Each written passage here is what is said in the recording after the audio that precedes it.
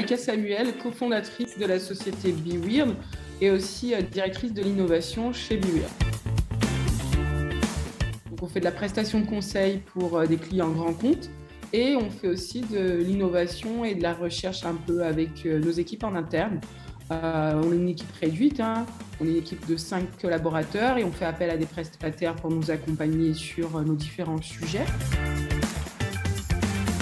Euh, commencé par une classe préparatoire MPSI, je me cherchais un petit peu, donc je suis arrivée en classe préparatoire HEC et euh, finalement bah, j'avais toujours cette, euh, comment cette, cette, envie, cette appétence pour l'informatique et les domaines technologiques. Et c'est là où j'ai été candidate à Télécom École de Management à l'époque, maintenant ça s'appelle IMTBS je crois. Et, et du coup, bah, j'ai intégré cette école qui finalement, avec sa proximité avec l'école d'ingénieur, correspondait à ce que je recherchais en termes de parcours euh, à la fois pluridisciplinaire et à la fois technique.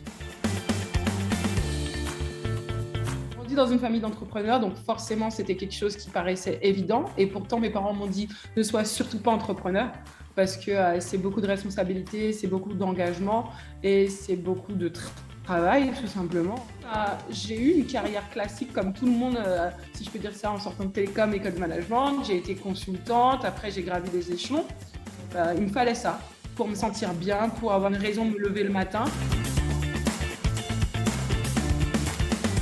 Accrochez-vous et, et prenez beaucoup de recul parce que vous allez entendre beaucoup de choses. En fait, 3000% des fois, on va vous décourager on va vous dire non, mais cette idée-là, elle existe déjà, on l'a vu mille fois. Moi, je me rappelle, hein, à l'époque où, euh, à l'incubateur de l'INT, euh, j'avais des copains qui avaient proposé un service de livraison de McDo.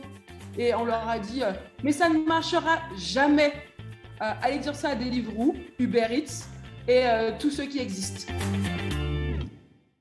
Je pense que c'était la partie financière. C'est-à-dire que moi, j'ai été boursière à l'INTBS.